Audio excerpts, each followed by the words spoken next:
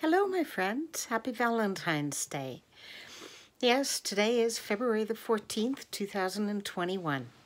You know, a couple of weeks ago, I guess it was more like three weeks ago, I posted a, a short video talking about um, my New Year's non resolutions, um, a goal that I'm setting for myself this year, and that was to uh, look after my health. Last year, I had set the goal to laugh, L A P H, look after Pat's health, and I got two weeks into that and then I quit.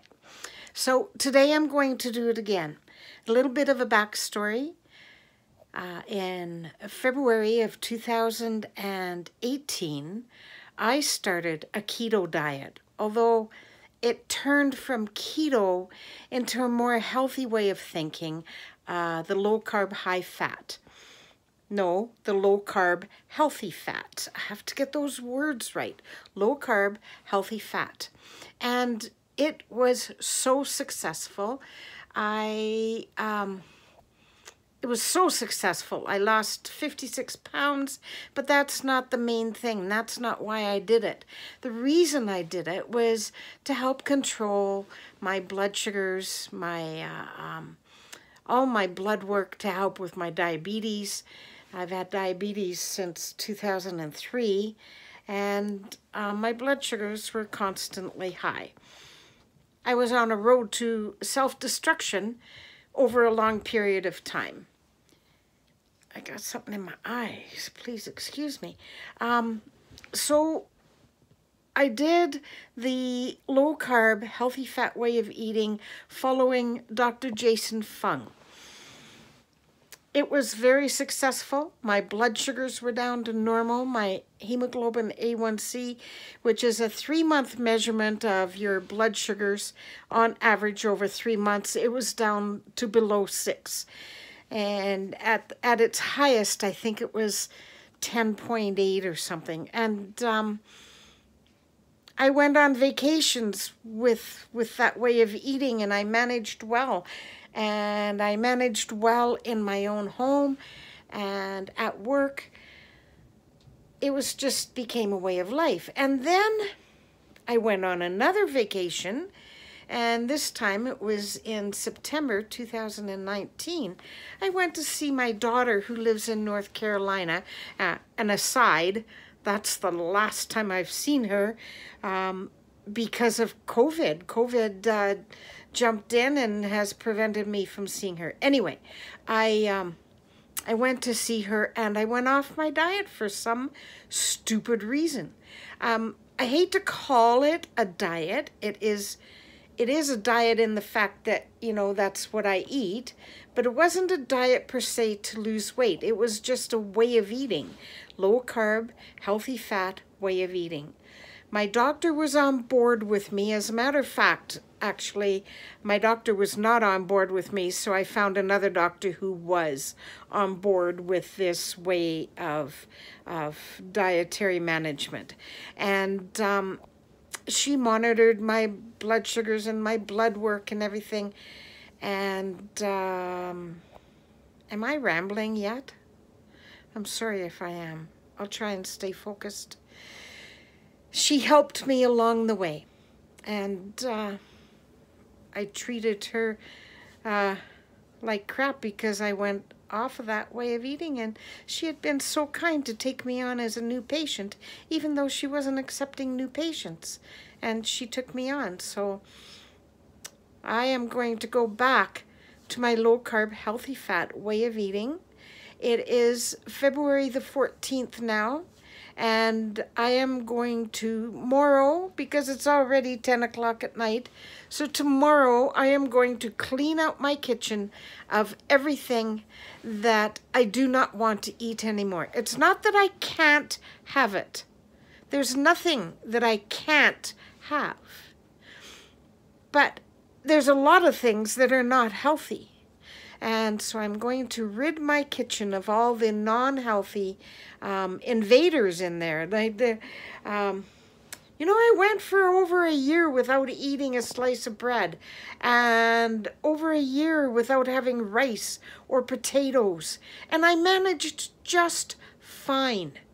It was just one day I had a piece of bread and then I had a potato. Then I had rice. And, you know, I even went to Southeast Asia, uh, Thailand and Cambodia and didn't eat rice when I was there. It's, it's crazy. So anyway, tomorrow I am ridding my kitchen of all these things. And geez, I just got groceries on Saturday and I got rice in my groceries, but I'm going to put them way at the back of the cupboard because like I say, it's not that I can't have this. It's that right now I am choosing not to eat rice or potatoes or grains of any kind, so no bread. And I am going to get my carbohydrates in my vegetables and a small amount of fruits. Did you know that fruits are extremely high in carbohydrates? Anyway, um, that's another thing. Uh, my doctor suggests, uh, you know, it, okay, let's get back to the doctor suggestion in a minute. In all the readings that I've done in keto diets, and low carb, healthy fat diets, etc., uh, they suggest 20 grams of carbohydrates a day.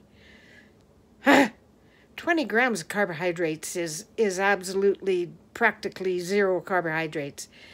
I am still going to drink my milk, and one glass of milk has 12 grams carbohydrates, so you know, that's half in, in a day. So my doctor suggests that I stick to the 50 grams sometimes I can go up to 100 grams, but 50 grams of carbohydrates a day would be satisfactory for managing my blood sugar and my diabetes. So, okay, I'm rambling now.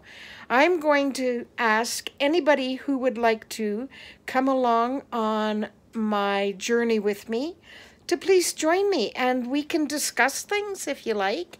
Um, I will be videoing uh, a little blurb at least three times a week. I will do Sundays, Wednesdays, and Fridays, and maybe some days in between.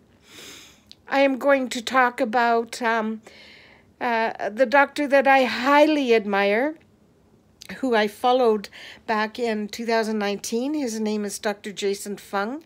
He has written two books, maybe more now, I don't know, but at the time he had two books. One was called The Diabetes Code and one was called The Obesity Code.